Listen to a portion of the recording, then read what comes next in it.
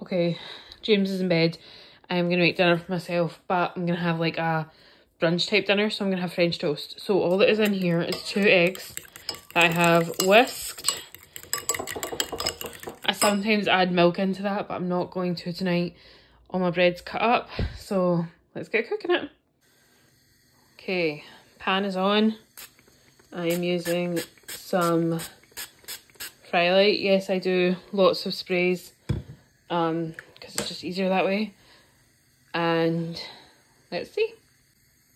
Okay so now that the pan is heated I am dipping the bread in the egg. Sorry I thought I was filming that. So let's do another one. Dipping in the egg. And I'll see how much fits here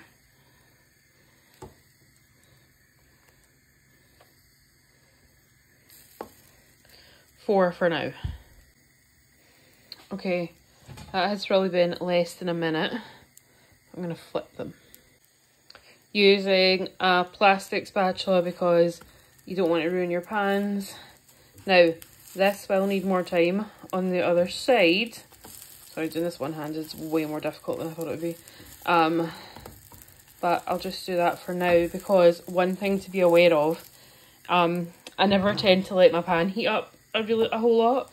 So when I'm making the next batch, like the other four bits of bread, they will make um, like be ready much faster than these ones because these ones have been in the cooler pan to start with. And then I tend to take mine off when they're about this colour on both sides.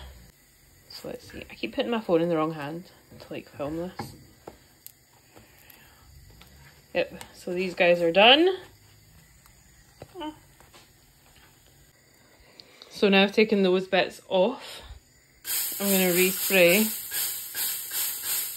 Um, careful with this. I'm actually also going to turn the heat down to that instead of what it was on.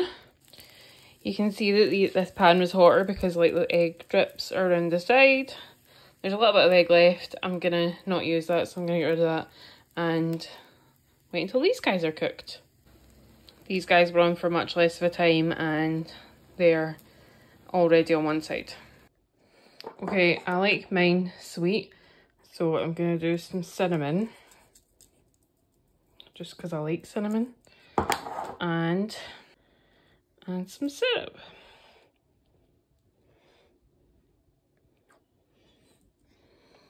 So, yum. French toast is done.